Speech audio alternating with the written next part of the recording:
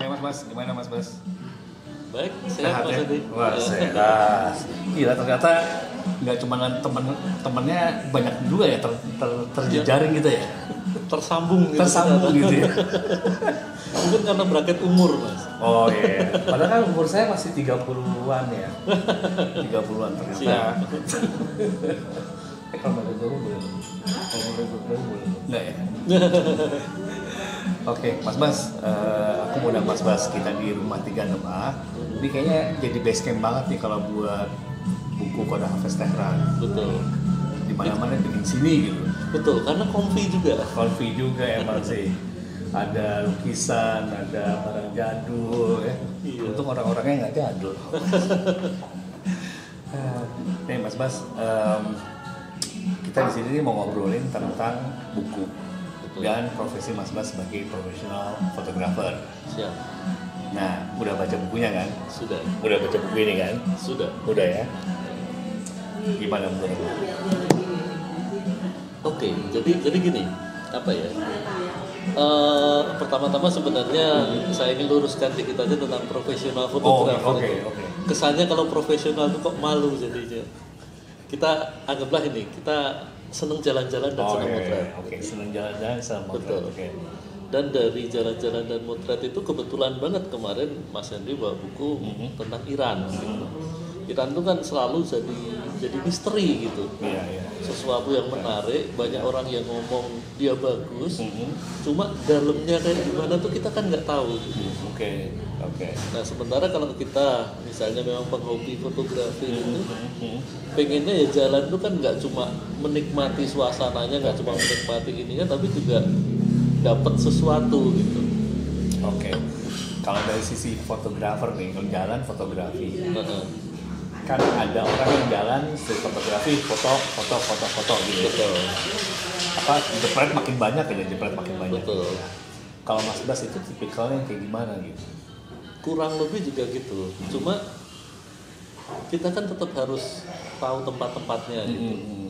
Yang ada hal-hal yang menarik apa, yang ada keramaian apa, terus di sini misalnya di pasar ini ada apa. Jadi kita sudah ada ekspektasi gitu. Nah itu yang saya dapat dari bukunya Mas Henry gitu. Oke. Tapi kan kalau jalan di satu tempat gitu ya, misalnya anggap aja ke Tehran gitu ya, Eh, jalan sendiri atau berdua, belum tentu dapat momen yang sama. Betul. Nah sebagai fotografer tuh kalau lagi ngefoto tuh nunggu momen itu aha momennya kan apa ya harap-harap cemas juga gitu. Betul, betul. Ada ada lucknya di situ, ada Ada faktor luck ya. Heeh. Oke.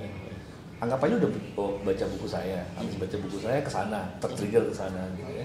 Kemudian mana yang dibilang di buku kok nggak ada gitu.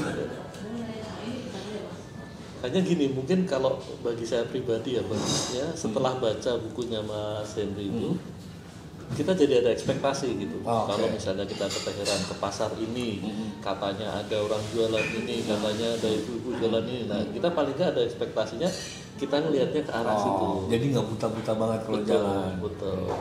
Mungkin juga ada tips-tips atau di situ disebutkan yang bagus tuh jam berapa, ramenya jam berapa. Nah, itu juga berharga bagi kita. Oh, oke, oke.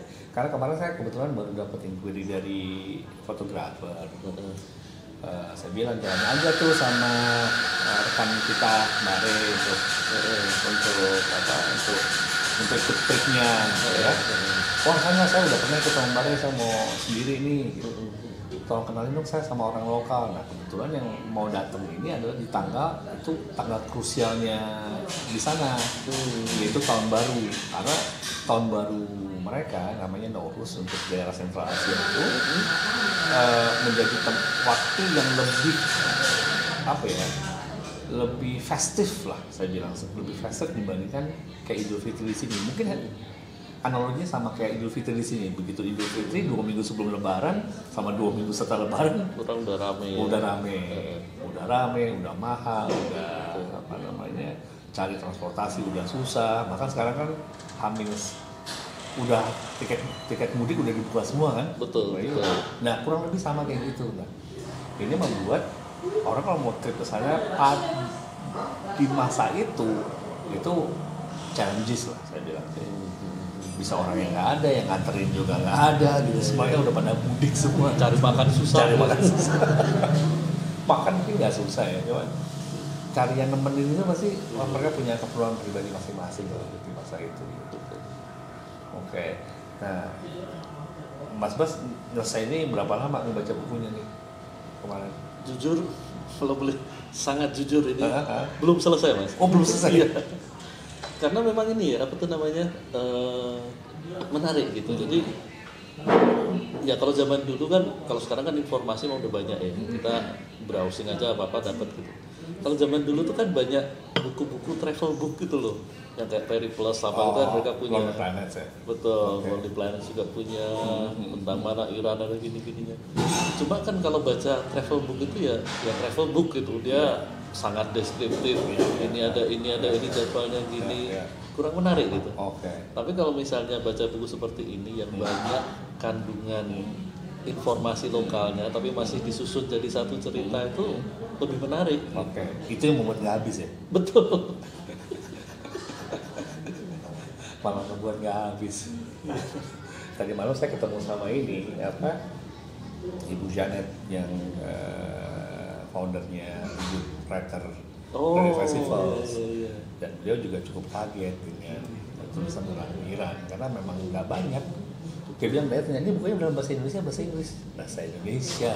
Wah, banyak sekali yang buku bahasa Indonesia dibanding bahasa Inggris. Ya nanti, karena memang marketnya eh, Indonesia ini memang tidak banyak. Referensi ini memang hampir saya boleh bilang sih hampir tidak ada biasanya kalau ditulis itu jurnal religius tentang Rumi tentang ya Rumi paling lah ya Eh, religi yang pop culture yang daily life tuh hampir nggak pernah saya temukan sih hampir nggak. Ada ada teman saya nulis itu eh, tentang tentang situs-situs di Iran itu ada Iya. geopolitik ada gitu. Nah, begitu yang harian nih cerita ke pasar nggak ada. betul betul itu juga yang bikin saya seneng gitu Oh gitu. karena yang kebetulan dulu kan saya pernah belajar arsitektur gitu Oh, oke jadi oke. kalau mengenai arsitektur Iran Hmm. arsitektur Persia arsitektur Muslim pada zaman itu referensinya banyak Hmm. hanya kisah keseharian di situs-situs itu kan nggak ada gitu Ya ya ya. kalau datang ke situ orangnya gimana Ya, ya, ya. Dinamikanya gimana tuh nggak ada Ya ya ya benar. sementara arsitektur tuh kan nggak diem gitu harus ada Ada human ya, ada Betul, human betul, yang ada di konteksnya Ya, gitu. konteksnya. Nah, hubungan arsitektur sama orang ini, ada saya pernah ke satu kota di Kashan, yang yang saya bingung, ini rumahnya kok kayak malah ke bawah, mas. Hmm, hmm, hmm. Jadi kita tuh atas tuh kayak cuman kubah-kubah-kubah-kubah gitu, terus kita malah ke bawah. Ternyata sekarang saya kayak di bawah tanah itu lebih dingin dan kasan. Kasan kota kasarnya kota yang panas. Oh, oh iya iya. Thank you mas. Nah, ini mohon maaf ya mas ini kita sambil Jadi jadi eh, oh makanya mereka kamar-kamar tuh justru di bawah mas, di bawah tanah, nggak selevel sama tanah. Iya. Itu kayaknya mungkin semacam kearifan lokal mereka menghadapi cuaca. Iya cuaca. Sama saya pernah baca pas ngobrol sama orang arsitek dulu kan cerita kalau depan di air itu kan membawa kesejukan masuk ke dalam rumah ya. Hmm, hmm. Jadi rumah-rumah zaman dulu kalau di Iran itu pasti ada, ada kolam yang di depan, Oh iya iya jadi gitu. jadi dingin. Ya kayak gitu kayak gitu yang menarik mas. Oke. oke. Sesuatu yang itu tuh unik. Hmm. Mungkin dulu ada sejarahnya, cuma sekarang sudah jadi implementasi yang kayak hari-hari biasa ya, udah gitu. hari-hari ya. kadang-kadang kalau udah jadi implementasi kan hilang gitu kita nggak nggak sudah nggak wow. betul Ini kayak zaman ini dong, kayak zaman kita dulu apa? Wah, kalau cari hotel yang ada internetnya. iya iya Kalau iya. sekarang semua hotel Semua pasti ada internet. internetnya iya betul Bahkan udah gratis sekarang kalau dulu masih bayar. iya Ya, Oke, oke, oke. Nah, em, apa? Dalam keseharian Mas Bas sendiri, dalam kalau jalan nih, jalan apalagi sih yang menjadi interesting pointnya Mas Bas? iya kebetulan kalau saya kan memang eh, sukanya itu landscape Hmm. tapi landscape yang ada konteks manusianya juga gitu. Oke.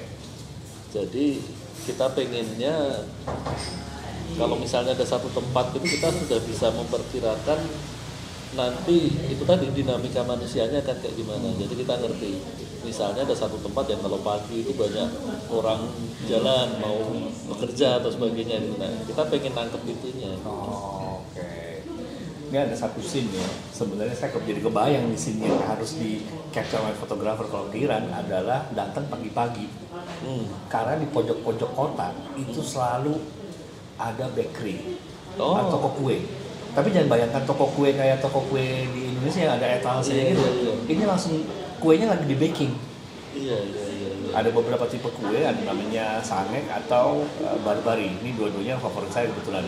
Dan orang Iran kalau sebelum ke kantor dia pakai jas gitu dan ngantri mas ngantri roti ini bakery ini ngambil beli satu satu lembar dilipat dibawa Oh gitu. nanti dibuat sarapan di kantor sambil minum teh Oh gitu. nah ini kan antrian-antrian kayak gini kan Iya. buat fotografi tuh landscape cakep nih Iya, iya. apa eh, toko-toko toko-toko belum pada buka kecuali bakery buka kemudian antrian orang dengan berbagai macam ragam mau baik perempuan atau laki-laki nanti beli Roti dan Roti. rotinya juga roti khas roti sana roti ya. sana dan panjang tuh panjang bahkan ada yang setinggi 100 150 meter eh satu setengah meter ya. Satu setengah meter 150 cm dia lipat dua. Itu sangeng Iya, dia di apa di sama batu. Terus kalau barbari itu mungkin ada pengaruh Turki Azerbaijan Azerbaijan itu ambil agak lebih tebal itu diketekin mas. Hmm, hmm. satu biji diketekin di bawah kayak tongkat komando gitu. Iya, iya, iya, iya. itu keren banget tuh kalau pagi-pagi.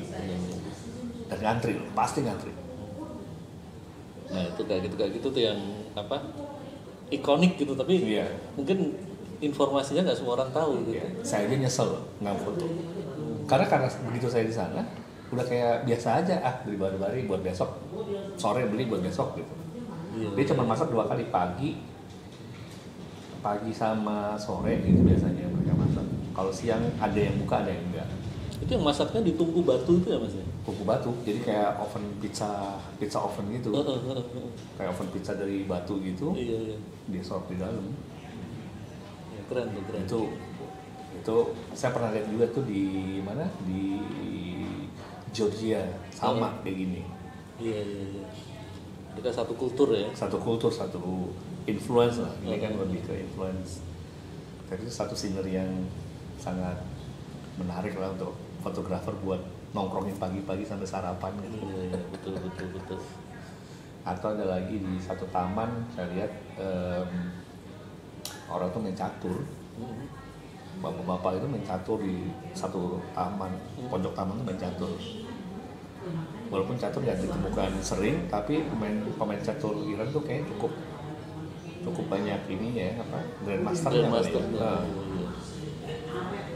Itu ya rekomendasi rekomendasi yang buat dilihat ya kalau kalau fotografer mau ke sana Menarik menarik. jangan pada saat apa jangan saat tahun baru mereka ya udah Crowded ya. crowded Iya iya iya. dan mesti agak hati-hati kalau bawa ini bawa kamera karena agak challenging kadang-kadang Iya iya iya. iya.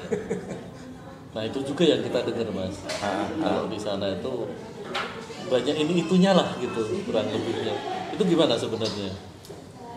Wah, kalau saya pribadi sih kalau bawa yang super pro banget ya mungkin saya nggak pernah bawa yang super pro makanya saya lebih bawa yang banyak yang kecil-kecil. Tapi pernah saya dalam satu masa bawa yang lebih mungkin se, se Fuji X10 itu apa ya namanya? Bukan pocket juga di atas pocket antara DSLR sama pocket mirrorless Iya, ya. iya. Itu karena ada mikrofon segala macam seperti cegah. Hmm. Tapi itu cukup, udah cukup kecil loh itu, nggak Iya, nggak iya. nggak Nggak mata gitu. Ya. Tapi kalau pemain kita turnya kalau ke turnya ke tempat turisti mungkin nggak ada isu. iya. Tapi kalau buat street itu memang jangan yang mencolok lah, Betul betul. nggak terlalu nyaman kali mereka. Iya. Gitu, bayang. Nah, eh, udah berapa foto apa aja Mas Bas? Kalau saya lihat di sosial media Mas Bas kan banyak ini ya, eh, sekarang AI approach gitu. Iya itu leb- sebenarnya lebih karena akhir-akhir ini jarang sempat jalan-jalan. Oh, jadi terlampiaskan lewat Iya. lewat ini ya. Kekangenannya terhadap tempat-tempat yang agak eksotis itu dilampiaskan lewat AI. Kayaknya kita mesti kegiran nih. iya betul betul. Ini kayak gini nih mas. Ini, ini tampaknya menarik loh nih. Ini kayak tapak meja nih mas. Iya. Kayak dagang karpet gue. Tapestry. Tapestry. Nah ini sangat tipikal. Aku nggak tahu ya. Dulu ibu saya pernah punya yang hampir mirip kayak gini. Nah, aku saya pernah baca referensi. Ini namanya Terme. Hmm. Saya pernah baca satu referensi kaitannya sama Marco Polo. Hmm. Marco Polo, Terme, dan satu kota di Iran namanya Yash. Hmm. Yash itu antara segitiga Isfahan, Kashan, sama Yash itu biasanya di triangle perdagangan kayaknya rute perdagangannya. Ini ini kayak Marco Polo sampai nyari ini kalau nggak salah sebagai uh, warnanya macam-macam. Iya iya. Karena emang kelewatan ya dia ini apa namanya? Kelewatan jalur Silk Road sutra. Silk Road, benar, benar. Jadi influence-nya itu kelihatan nih dari Asia ujung ke ujung ada influence-nya masuk sini semua nih. Iya, bahkan keramik-keramiknya itu ada influence Mongol China ya. Oh gitu. Iya.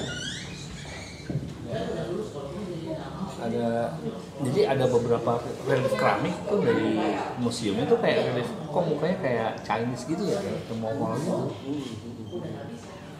Bahkan ada satu lagi yang menarik tuh rose water, Hmm, hmm. bunga mawar. Iya iya. Saya dibawa sama teman saya. Ini kebetulan center senternya di kasar. Saya sampai saya bingung ini ngapain lagi gue dibawa ke tempat rose water ya. Jadi kayak perkebunan mawar terus di di apa ya direndam mawar ini. Nah aromanya diambil. Oh. Bahkan dia pernah mau datang ke Indonesia dia bilang, eh lu mau dibawain ini nggak apa namanya rose water nggak? Agak serem ya tuh Agak water. kayak mau lagi mau ziarah. nah, tunggu, Bu. tapi ternyata rose water itu dipakai buat adonan makanan, Oh. adonan minuman, itu sebagai campuran-campuran. Jadi bunga-bunga tuh sangat. Oh yang satu lagi nih, bu, bicara bunga, bicara tulip. Sulit. Asalnya dari mana? Belanda. Wah, tentu saja dari dari Central Asia. Oh iya? Iya. Nama asli itu lalai. Oh gitu. Lalai itu ada tulip. Aku nggak tahu gimana dia traveling ke barat ya. Heeh, heeh. Jadi eh, Central Asia, Azerbaijan, Iran, Persia, terus ke Turki, ke Belanda. Iya iya. iya. Itu ada satu perkebunan eh, apa tulip yang cuman be- beberapa hari emang pas musim semi itu tumbuh Oh gitu. nggak jauh dari dari Tehran. Hmm, hmm. Namanya Lalezon. Oh, tapi dia semerbak atau ininya tuh hanya beberapa hari dalam beberapa hari dalam satu tahun. Oh. Dia mirip lah sama si tulip di Belanda, Di Belanda, ya. Nah, dia agak naik ke pegunungan gitu, agak keluar kota, tapi nggak jauh kok dari dari kota Teheran tuh cuma satu setengah jam kali. Saya sempat ke sana juga. Itu juga spot yang menarik Iya. buat kalau mau datang ketemu dan interaksi sama orangnya. Ada sejarah-sejarahnya lah mas. Iya iya iya. kebayang kebayang Mas. Mungkin dia sudah banyak dilewati pendatang-pendatang yang terus bawa itu ke mana-mana mana. Benar, benar.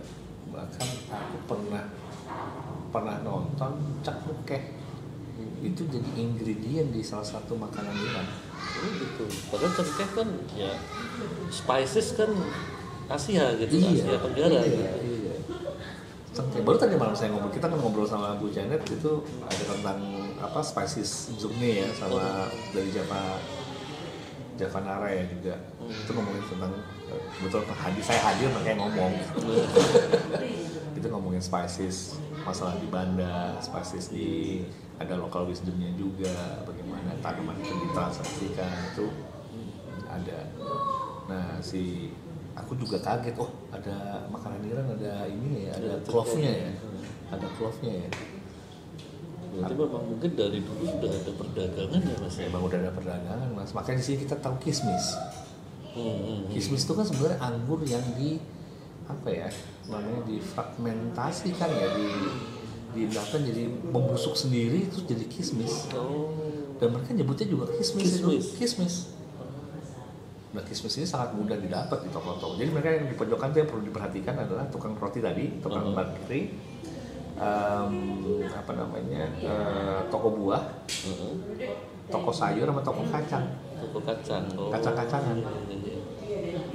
Karena kacangnya macam-macam ya. kacangnya macam-macam ada pistachio ada almond ada walnut Eh, ya itulah. Ada delima yang dibikin bikin kayak dodol. Iya, iya, iya. buat delima bikin kayak dodol. Dan mereka ada namanya ini apa namanya? Em, kacang kedelai. Eh bukan kacang kedelai. Kacang apa? Yang jambu mente Mete. Ah. Oh, really? Mm-mm. Menarik ini. kacang mente sebagai campuran mixing di situ Iya, padahal mereka nggak punya Iya. Dan kacang mete kan spesifik ya. spesifik kalau pas toko kacang pasti akan lihatnya apa nih oh kacang kacang kacang mente gitu. Iya, iya, iya. dan orang Iran juga saya dengar percaya sama namanya walnut Hmm. bagus buat ibu hamil gitu karena untuk pertumbuhan otak dari si bayi Kan bentuknya kayak otak gitu kalau dibuka kan walnut kayak otak gitu Iya, iya, iya, benar-benar. Iya, iya. gitu itu ya, ya hal-hal yang perlu di kayaknya saya perlu dilihat ya kalau kalau Mas Bas biasanya kalau jalan gitu lebih suka ikut tour apa memang jalan FIT sendiri Sebenarnya lebih suka sendiri kalau saya. Ya. Kadang-kadang kalau baru pertama kali atau apa mungkin eh, ikut tur tur yang agak spesial ya tur. Misalnya memang tur fotografi atau apa itu mungkin bisa. Tapi kalau misalnya kalau kita memang suka terhadap suatu tempat itu pengennya ya dua kali tiga kali empat kali kita spesifik di mana yang kita sukanya gitu. Mutik di situ ya. Betul. Ya, ya. pasti dapat dapat spot-spot bagus sih. Mungkin karena saya tinggal di sana jadi kayak udah biasa. Bahkan ngeliat tadi yang GTM itu nggak menarik. Bahkan saya nggak punya itu mas yang punya rumah 36A yang punya kalau saya nggak punya. Bahkan ngeliat karpet aja kayak udah ya biasa banget gitu. Iya. Padahal memang di sana sumbernya karpet. Sumbernya karpet. Bahkan saya bertanya sempat question yang curious ya. Indonesia ini kan harusnya nggak karpet ya? Iya karena debu dan segala Iya, macam. dan tropical kan. Tapi kenapa kita pakai karpet? Jangan-jangan ini ada influence-nya. Ini kan kembali lagi curiosity ini jadi kebangun gitu. Kenapa ya? tapi memang ini kan ya mas ya kalau kita dengar-dengar dari sejarah kan pedagang-pedagang Persia itu kan memang legenda gitu mereka sampai di mana-mana gitu. Iya, apa juga didagangin sama dia. Apa juga didagangin. betul Sama lah kita, jadi kita juga dagang kan. Indonesia juga dagang. Apa Iya, juga dagangin. betul. Tuker duitnya didagangin kok. iya iya semangatnya dagang gitu Semangatnya dagang. Oke. Nah, Mas Bas selama perjalanan selama ini ya pernah punya kesulitan biasanya kesulitannya apa sih kalau jalan ini jalan buat foto ataupun traveling gitu challenge-nya biasanya apa? ya yang utama sih biasanya kalau kita punya ekspektasi akan dapat sesuatu gitu tapi ternyata kita ayo tersalah timing atau salah tempat atau tidak mendapat informasi yang cocok sehingga yang didapat itu kurang gitu Oke. ya itu salah satu dinamika traveling sih tapi kalau itu bisa kita bisa dapat lebih banyak informasi sebelum berangkat kan lebih ini Tapi sebelumnya pernah kepikiran nggak tentang Iran? Kepikiran selalu. Oh ya? Iran Sebelum itu- ketemu baca buku saya? iya betul. Oh ya? Iran tuh selalu apa ya selalu jadi misteri yang menarik gitu. Banyak banyak situs-situs kuno dan tidak hanya ini kan di sana juga ada situs-situs Romawi situs segala macam itu. Terus dia juga bagian dari jalur sutra sehingga pasti ada dinamika itunya juga. Selalu selalu. Kita Iran tuh kepikiran terus. Pasti cantik pasti bagus pasti banyak yang bisa diulik cuma dalamnya tuh kayak gimana gitu. Kan kekhawatirannya kalau kita orang Indonesia kan selalu dalamnya kayak gimana sih? Dalamnya jangan aku. Nah kekhawatiran apa yang Mas Bas alami pada saat Iran berarti kan sudah pernah jadi bucket list kan? Betul bucket betul. list. Tapi kekhawatiran apa terbesar yang menghalangi misalnya selain selain ya sama anggap aja X sama dengan uang ada waktu ada segala apa yang me- barrier utamanya gitu Iya, iya. Ini eh, kalau saya pribadi ya, ya mungkin salah satu yang sedikit jadi bahan pemikiran tuh stigma. Aman nggak sih di sana kita ini nggak sih apa terlalu ketat nggak atau apa atau jangan-jangan nanti kita nggak bisa gerak sama sekali dan sebagainya. Kalau dari saya pribadi itu. Oke, oke.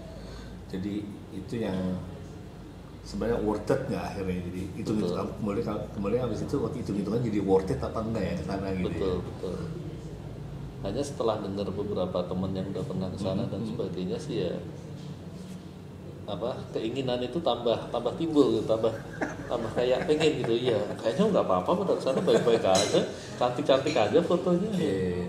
Kemarin saya baru lihat juga tuh satu footage-nya Mbak Ray. Mhm. Ada Mas Arben Rambe ya. oh iya mas Iya, Arbain Mas Arben Rambe eh, udah pernah ke sana ternyata dia. iya iya iya.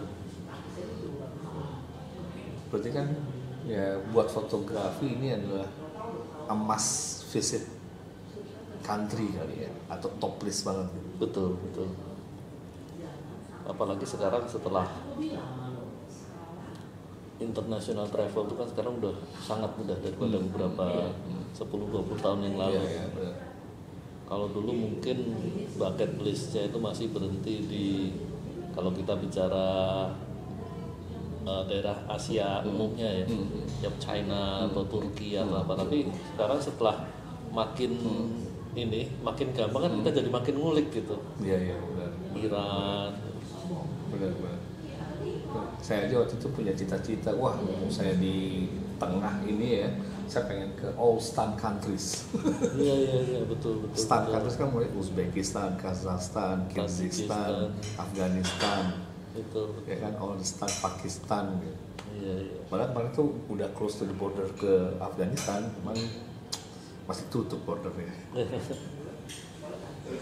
Waktu belum ada Taliban belum take over. Hmm. Belum- Tapi kemarin saya baca lagi ini ada satu pasangan keluarga Indonesia yang road trip ke Afghanistan Betul. pakai ini namanya kalau akun Instagram tuh Journey of Wonder kalau nggak salah. Hmm, hmm, Itu ngelewatin entry entry Afghanistan dengan mobil hmm. Pajero Dakar. Itu kan lebih gila lagi maksudnya. Iya iya. Kalau saya road trip internasional masih belum berani. Maksudnya yang diurus banyak kan soalnya bukan cuma Iya diri betul kan. betul. Oke, oke. Iya menarik sih itu apa tuh namanya pengalamannya pasti juga banyak. Tapi balik lagi eh, pengalaman itu kalau nggak di share kan Hmm. jadinya ya ya jadi untuk diri sendiri gitu. Makanya Benar, benar. kita terima kasih banget Mas Edi udah bersusah payah untuk nge-share jadi suatu buku itu kita jadi gampang gitu. Nggak susah-susah payah banget sih. lebih susah payah lagi nyuruh orangnya nih ini ada buku eh, Kode kan mau baca nggak baca nggak itu lebih susah lagi Iya, Mas. iya, iya. tapi kalau menurut saya sih nggak ada proses yang rumit ya nggak ada proses yang rumit desainnya juga ada yang rumit proses percetakannya juga lancar lebih kepada apa namanya eh ini udah ada referensinya kamu mau baca nggak gitu itu yang lebih Iya. challenging Iya. kayak berenang di air yang nggak ada orangnya gitu loh Iya iya iya. iya. tapi saya surprise mas ini setelah tahun-tahun makin ke sini ada bahkan saya surprise ketemu Mbak Ray karena dia berani untuk bikin uh, trip ini ke sana sana, gitu ya dan ada beberapa lagi saya pernah ketemu yang lebih surprise lagi adalah travel agent mayor uh, itu udah ada yang bikin trip versi ya sana. Oh. jadi ini sudah mulai dilirik menjadi trip yang eh, apa eh, dipertimbangkan iya. walaupun belum banyak yang berani Hmm. lebih lebih ke berani walaupun sebenarnya ya berani aja dulu karena di sana nggak ada apa-apa Iya iya. Padahal kemarin setelah baca bukunya Mas Henry juga kita sempat Hmm? lihat-lihat browsing-browsing beberapa itu ternyata sebenarnya turisme itu juga udah lumayan maju ya di sana ya. Cuma memang eh, lebih banyak dari negara-negara tertentu yang memang banyak mungkin Ya. hubungan dagang, hubungan apa gitu ya. yang banyak lihat itu China China. China banyak orang Jerman Australia itu cukup adalah pihak yang cukup orang Australia cukup banyak yang pengen ke sana tapi dengan saya nulis ini dan saya pernah tinggal di sana itu jadi bahan cerita yang menarik sebenarnya kalau ketemu orang oh Iran. Oh, jadi bahan cerita. Oh Iran. Tapi kalau saya transit kan eh Singapura. Ya kayak I've been there oh New York biasa tapi begitu talking about Iran is a something new things lah Betul. Sementara seharusnya orang kita itu seharusnya cukup cocok di sana ya. Makanannya bahkan nggak terlalu jauh berbeda gitu. Masih savory juga gitu. Ya walaupun tidak terlalu berbumbu ya. Saya bilang sih nggak bumbunya nggak strong. Heeh. tidak strong sama mungkin kecenderungan makannya itu, itu saja. Iya. varietinya tidak sebanyak kita ya. Kalau kita Iya, iya. Sabang Merauke kan varietinya naik turun ini. Apa Iya. spicesnya memang the spices island gitu ya. Dan kalau kelamaan mungkin ya harus bertahan aja sama makanan tipe yang sama gitu. Iya iya iya if you get used to it it's okay gitu. Tapi kalau enggak ada yang aduh aku nggak makan kambing nih. Aku pesan sapi biasanya di mix sama kambing. Iya. biasanya beli daging giling sapi itu biasanya pasti di mix sama daging kambing. kambing. jadi jarang banget yang pure 100% Untuk rasanya atau apa mas kira-kira itu? kalau buat saya sih nggak ada isu tapi buat certain orang kan kadang-kadang oh, udah sugesti ya Iya. sugesti eh, perengus lah apalah gitu Iya, kolesterol gimana orang sana? Orang sana sehat-sehat atau gimana? Ini Nggak, Mas kan sering ini gini. kalau cari referensi lagi yang yang lemak paling tinggi itu apa sebenarnya bukan kambing mas Seafood. kambing itu paling rendah sebenarnya Oh gitu. iya dibandingkan sapi kambing paling rendah dibandingkan ayam kambing paling rendah oh gitu. jadi kenapa kita makan sapi Iya iya iya. itu jadi membuat saya lagi berpikir lagi kenapa kita nggak ternak kambing aja ya masalahnya mungkin masalah masalah pengolahan ya pengolahan aja tapi harusnya sih nggak ada isu Iya. Oh, berarti makan kebab kita habis itu. makan kebab sih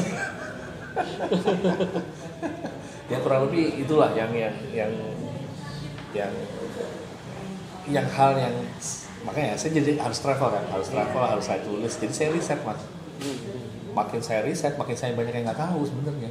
Iya iya. gitu mereka kolesterol minyak goreng konsumsi. Makanan banyak yang digoreng beberapa. Terus susu yogurt eh, teh kambing. Jadi kambing nggak bukan Bukan. kolesterol Atau karena kebiasaan, mereka mungkin banyak jalan kaki atau apa. Eh, ya ya nggak juga sih sebenarnya Eh, oh yang ini mungkin faktor ini ya less sugar aja sih Less sugar. less sugar less sugar Iya. karena kalau saya melihat tuh FDA-nya cukup ini cukup apa cukup kontrol dan nggak ada kaki lima Nggak ada kaki lima. jadi jangan harap ada makanan kaki lima ya di sana. Iya iya iya. jadi semua udah di kalau mau buka restoran ya harus yang kontrol oleh kayak BP POM yang sana atau FDA-nya Iya iya. iya. Food Drug Authority-nya Kesehatan bagus ya di sana mas ya. Eh, kesehatan bagus so far ya so far bagus yang jelas sih saya waktu imunisasi, imunisasi anak saya murah banget Oh. sebagai komparasi di sini satu setengah juta kalau di rumah sakit gitu ya di sana total sama dokternya mungkin cuma 80 ribu Oh. Dan posyandunya mereka tuh kebetulan anak saya lahir di sana mas Oh gitu. Nah, dan posyandunya itu memang posyandu ini kalau sama pemerintah Oh. memang ada gedungnya memang kalau kita habis lahiran Mhm. nanti minggu depan mesti ke sana ya buat nimbang buat buat kontrol gitu Iya, iya, bukan posyandu yang di ini tapi ada satu sama masa eh, saya ke UGD malam-malam gitu ya Eh, yang dilakukan tindakan pertama adalah administrasi pasti Mhm. dua langsung ini apa namanya infus Cus. pokoknya standarnya infus Oh. Iya. saya bingung "Ah, enggak kalau masalah ini biasanya saya nggak di infus Tapi kalau di sana standarnya seperti itu. kayaknya standarnya di infus ya kalau nggak di infus nggak lucu Oh ya kalau kita mungkin sebagai apa ya pelancong itu kalau di sana komunikasi gimana mas?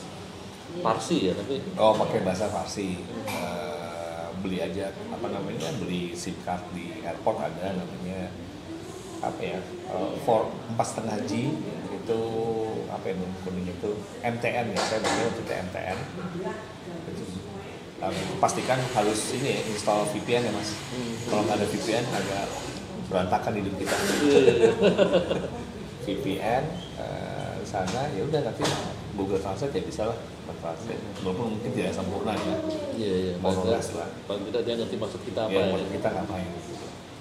Iya, iya. gitu. Survive lah, mereka kan ada aplikasi buat jalan-jalan tuh ada kayak mau apa mobile online atau ojek online itu ada. Kalau sana ojek nggak nggak banyak ya, mobil rata-rata dingin soalnya. Hmm, iya iya.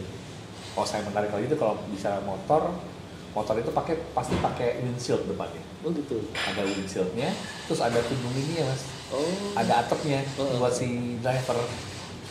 Dan kalau musim dingin, eh, sarung tangannya tuh ditempel di stang. Oh gitu. Ah. Jadi tangannya yang masuk ke sarung Tangannya yang tangan masuk ke sarung tangan, bukan kita ke sarung tangan dulu gini enggak. Iya, iya, iya. Sarung tangannya udah nempel di situ. Nah itu Iya. hal-hal unik yang yang pasti perhatiin ya. Kalau Iya, iya, agak iya. dingin, sarung tangan nempel. Iya iya iya. Lucu lucu lucu. Jadi kalau itu Iran udah tahu ya apa yang mau dipot, di foto ya. Sudah ada bayangan ya. Sudah sudah lebih lebih confident lah. Lebih confidence ya. Oke Mas, nih eh, saya mau jemput ini nih istri saya kayaknya. Jadi eh, terima kasih banyak sudah ngobrol-ngobrol hari ini. Eh, terima kasih juga sudah membaca bukunya, mengulasnya, eh, mengendorse-nya juga, gitu ya. Kita tidak akan henti-henti mengendorse ini mas. Ini soalnya harus baca. Asik soalnya dibaca. Iya, Oke. thank you. Sampai belum selesai makanya. Atau jangan-jangan diulang. Berarti diulang- bagian diulang. bagian yang penting diulang-ulang itu. biar apa gitu kalau sekarang udah tahu. Iya iya betul. Oke oke oke sip terima kasih mas mas Bas. Eh, kita bisa ketemu lagi di rumah 36A tempat nongkrong paling asik di Jakarta Selatan Oke. yang punyanya anak jaksel Iya. terus anak jaksel kadang datang kadang enggak ya Iya iya betul betul. betul. Kalau enggak ya kita enjoy aja di Jadi sini. kita enjoy aja di sini. ini belum diminum Iya betul. ya udah, terus sekarang tinggal dulu ya Siap. Oke. Sip. Terima kasih banyak, Mas. Iya sama-sama.